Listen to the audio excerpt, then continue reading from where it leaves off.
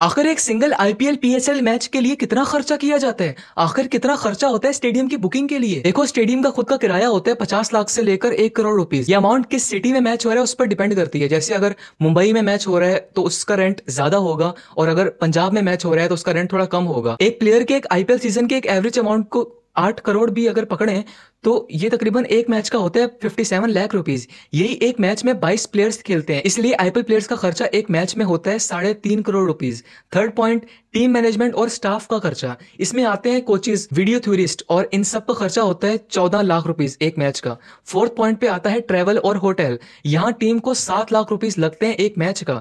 Team के हिसाब से अमाउंट काफ़ी कम है, लेकिन टोटल टीम को कम दाम में रखती है, क्योंकि उनका भी प्रमोशन हो रहा होता है ना. एक मैच की टीम की सिक्योरिटी के लिए पाँच लाख रुपीज़ लगते हैं और लास्ट में आती है एम्पायर की सैलरी एम्पायर को दो लाख रुपीज़ पर मैच दी जाती है। मतलब इनकम कहूँगा ना उसको तो। तो अब अगर सबके टोटल करें तो यही एक आइडियल मैच को खेलने के लिए खर्चा आता है पंद्रह करोड़ रुपीज़